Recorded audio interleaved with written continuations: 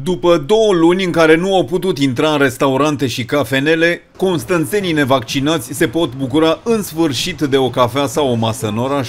Ieri, pe 9 decembrie, au intrat în vigoare o serie de măsuri de relaxare pentru țara noastră. Printre acestea se numără câteva beneficii pentru cei care doresc să meargă la cafenea sau restaurant.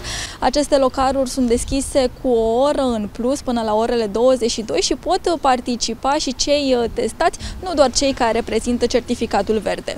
Cei care sunt imunizați anticovid-19 spun că măsura este una bună pentru cei care nu sunt vaccinați. Era într-un fel discriminatoriu, susțin aceștia. E o mare prostie.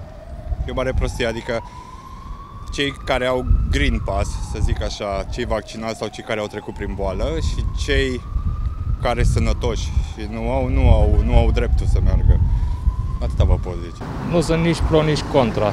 Ar trebui să controleze mai bine pe cei care sunt infectați. Patronii privesc cu speranță. Chiar dacă localurile nu vor fi deschise toată noaptea, fiecare oră în plus este binevenită, mai ales acum că se apropie sărbătorile și oamenii sunt tot mai dornici să iasă din case. Sunt foarte bune și un, o gură de aer pentru, pentru noi.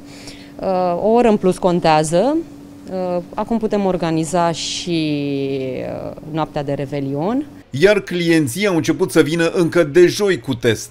Au început să vină și clienți care prezintă un test negativ, da. Veneau și înainte, dar din păcate nu-i puteam primi. Sunt niște măsuri foarte binevenite și cred că pot vorbesc numele tuturor colegilor mei din Horeca că le așteptam de mult să vină. Considerăm că ar fi bine să și păstreze aceleași măsuri și după anul nou. Sperăm că ora de închidere o să, o să se prelungească.